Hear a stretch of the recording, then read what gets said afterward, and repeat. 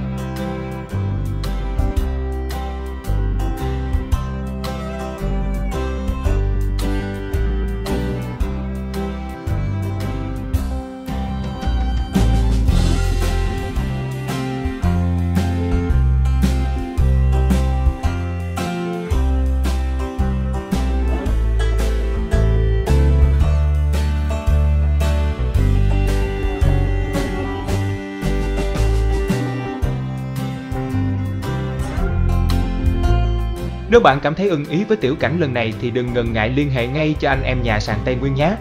Chúc bạn một ngày tràn đầy năng lượng.